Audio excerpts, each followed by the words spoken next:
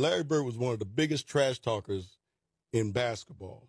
And, and a lot of people say, really? You know, they thought it was Reggie or Charles.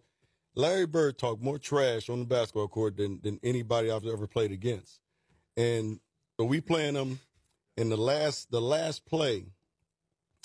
He says uh, to James Worthy, he says, "You guys don't have to worry about it. I'm gonna go right over there that corner." He said, "They're gonna set a screen for me. We're taking the ball out." He said, "I'm gonna curl right over," and he's telling us to play.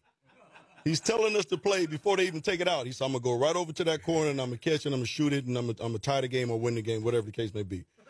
They take the ball out, and I think it was either Danny or, or, or um, DJ, the late, great DJ. Yeah.